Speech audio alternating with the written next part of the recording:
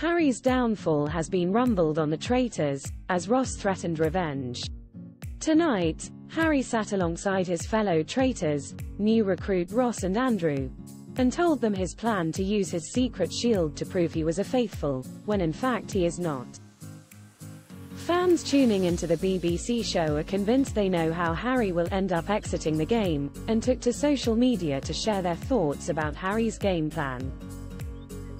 Ross has been adamant to get revenge after his mum Diane was killed in the game.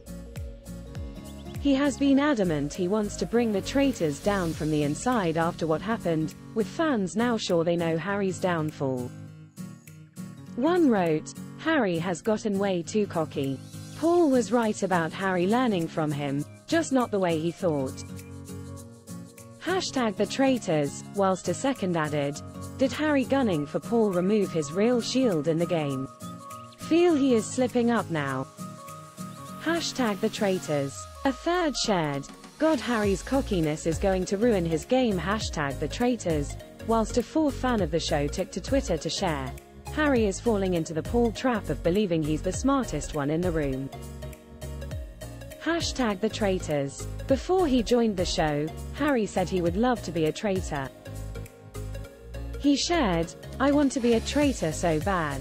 I know everyone says it, but I've always said I feel like I've got a Jekyll and Hyde in me where Monday to Friday I'm a corporal, and as soon as it hits Friday, I'm just Harry and I don't want to think about work for the weekend. I also have five brothers and sisters so I can tell little white lies and I make myself believe them first and then it just becomes the truth.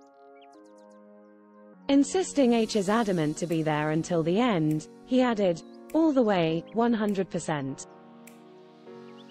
Traitor or faithful, either way I'm going all the way to the end. I'm going in there to win it. Especially as a traitor, I've already thought of how I would have handled situations from the last series.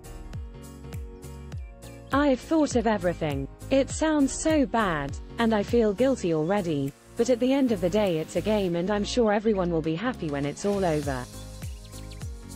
I'll buy them a couple of drinks. Asterisk.